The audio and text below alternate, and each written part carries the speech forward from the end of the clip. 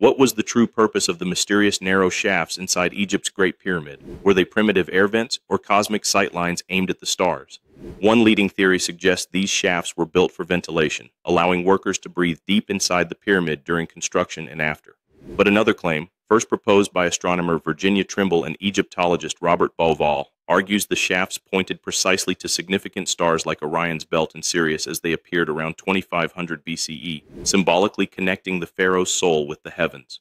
Researchers tested this by carefully mapping the shaft's angles. The southern king's chamber shaft aligns with Orion's belt, while the northern shaft points toward the ancient pole star, Thuban. In 1993, a robot camera explored one shaft and revealed a sealed stone door, deepening the mystery and suggesting a ritual purpose.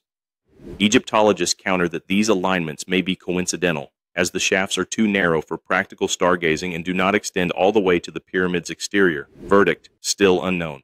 The shaft's true purpose remains one of history's greatest unsolved puzzles. Subscribe to History Crossroads for more tested mysteries.